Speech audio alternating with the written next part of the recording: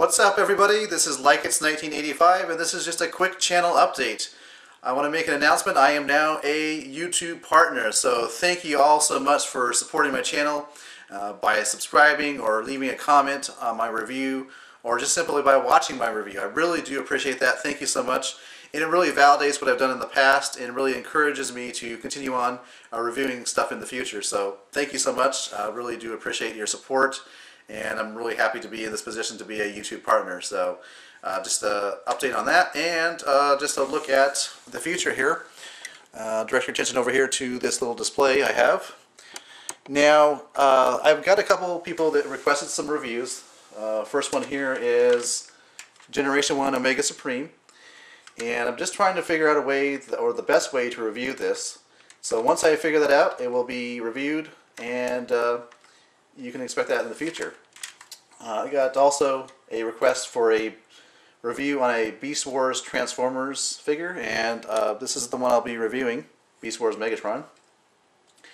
And as far as the Master Grade kits, the Destiny and the Strike Freedom, as you can see, are completed. Uh, I did a review recently on the inner frames for both of those kits.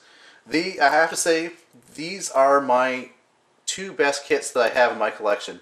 Not that my collection is anything like, you know, Prime 92s, but still, of the ones I have built, these two are my favorites, and they are, in my opinion, are the best ones that I have in my collection. So these will be reviewed in sometime in the future. You know, they're they're kits that have been out for a while, so I'm not really, you know, too concerned about getting them out in a timely fashion. But the Guncannon, on the other hand, is one that I will be reviewing probably tonight, so it'll be up really soon.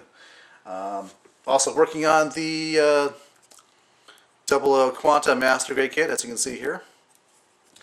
And I have not forgotten about the Star Wars vehicles that I did a did a uh, unboxing uh, review for. The uh, 2010 AT-AT as well as the Star Wars Legacy Collection Millennium Falcon. So those two are still in the works. I'm just trying to find a day when there's you know a lot of natural sunlight uh, because I want to want to really highlight those toys in the best light possible. So once that happens, I will be posting those reviews as well. Uh, so once again, thank you everybody so much um, for you know supporting me. I, I, really do appreciate that, and uh, also everybody have a very very Merry Christmas. All right, catch you later.